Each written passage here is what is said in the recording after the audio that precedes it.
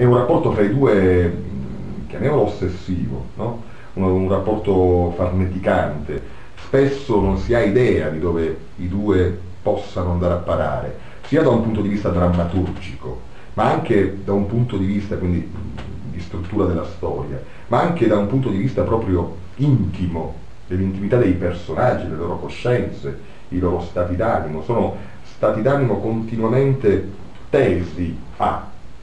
Difatti la parte centrale dello spettacolo è tutta costruita intorno a questo gioco grottesco che è un irricordo, che è un gioco che i due affrontano, una sorta di sfida, affinché si possa ricordare qualcosa.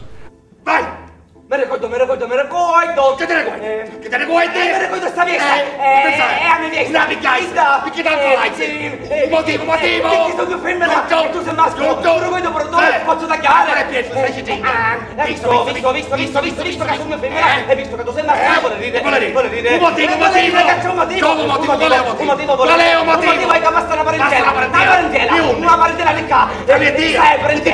Zitta! Zitta. Zitta, zitta! Zitta. Zitta, zitta, scelta della, della lingua, questo, questo palermitano vero, forte, violento, anche poetico, eh,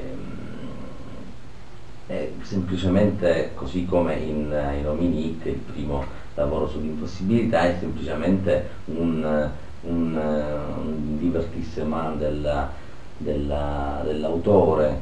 eh, eh sì, perché magari uno può immaginare che questo sia un, eh, un fatto che, che è accaduto, che potrebbe accadere, che riguarda soltanto la, la- la- un- un- una certa categoria eh, sociale o un, un fatto che si può racchiudere ad, un- ad una, una zona eh, territoriale ben definita, ma eh, appunto un volere giocare sulla- su, su quello che, può, che potrebbe, potrebbe tranquillizzare lo spettatore, ma che non è altro che una lingua universale, è una delle tantissime lingue con le quali si potrebbe andare a trattare il- il- l'argomento eh, che abbiamo appunto fatto con, eh, con la cerimonia. Diciamo che è, stato uno spettacolo anche faticoso eh, da un punto di vista proprio della messa in scena.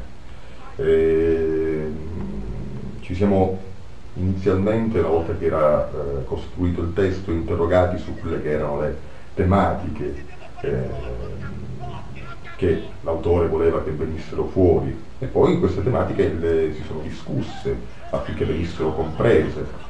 Eh, qui è stata importante anche la partecipazione di, di Francesco Di Fiore che ha eh, poi costruito eh, su questo impianto le musiche di scena che sono importanti all'interno dello, dello spettacolo, sono una base eh, significante, necessaria Del fatto, della, del fatto scenico. Che bella musica! Ti piace? Bellissima!